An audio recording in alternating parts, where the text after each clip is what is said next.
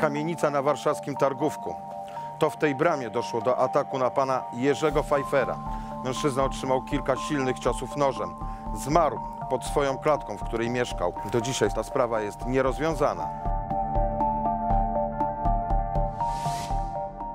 Wróciłam dosyć późno, była godzina może około 20.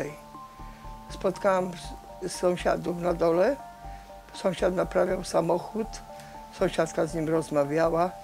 No ja, że nie miałam co robić, dzieci nie było. Mąż, mówię, śpi. No to mówię, porozmawiam sobie, bo nie będę się sama w domu nudzić. Po jakimś czasie przyszedł sąsiad, właśnie pan, pan Darek. No i od słowa do słowa żeśmy weszli na temat męża. On mówi, że Jurek poszedł, czyli mąż poszedł sprzedać koparkę. Ja zdziwiona, mówię, jak poszedł sprzedać koparkę? Skoro widziałam, jak wychodziłam, że śpi. On mówi, nie, o 16 godzinie przyszedł ktoś, jakiś facet się dobijał do drzwi i y, mąż się ubrał i wyszli. Słyszę, ktoś dzwoni. Raz, drugi, wa- walić w te drzwi. Wychodzę, sąsiadka z sąsiadem, właśnie z tym Darkiem. Mówię, Marysia, zejdź, twój mąż na dole leży, nie żyje.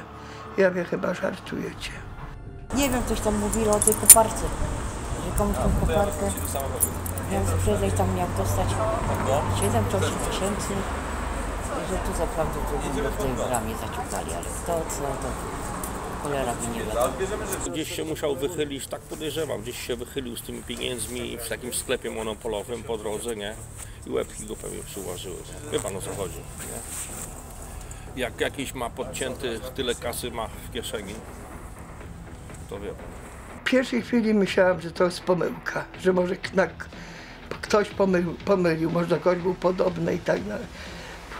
Później myśleliśmy, że chodzi o pieniądze, które ze sprzedaży tej koparki, że ktoś się dowiedział. I chodziło o te pieniądze, no ale te pieniądze nie zginęły, zostały te pieniądze w torbie.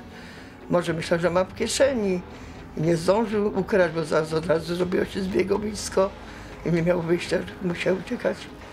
My do dzisiaj zastanawiamy się z synem, z córką, kto mógł go skrzywdzić. Wątpliwe. Chyba, że tak będzie jak z innymi, że gdzieś będzie jakieś morderstwo i skojarzy się jedno z drugim. Ten czas może. Daj Boże. Ja zawsze pomówię. Chcę dożyć do momentu, żeby spojrzeć mordercy w oczy.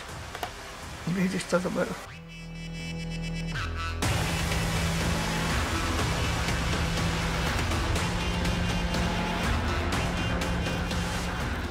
Sprawca uciekał ulicą Smoleńską. Może ktoś z Państwa coś widział i zapamiętał. Czekamy na informacje.